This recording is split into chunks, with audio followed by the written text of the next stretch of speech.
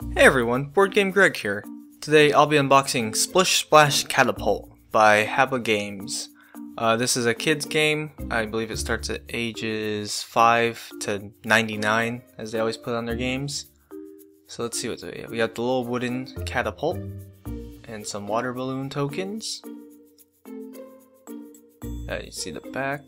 And let's see, we have just more rabbits and Easter uh, water balloons.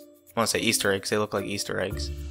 So essentially the whole point of the game is you put a water balloon on the end of your catapult and you flick it and try to hit a rabbit with it. Uh, so it looked like a cute game for my daughter. Uh, she's four and it looked like a game she could easily pick up and understand and kind of help refine her motor skills. Nice full color instruction manual in many languages. So yeah, there's really not too much to this game. Just some cardboard circles, uh, some water balloon cardboard shapes, and the little catapult wooden wedge. So look for my review on BoardGameGreg.com to see if it's worth picking up or not.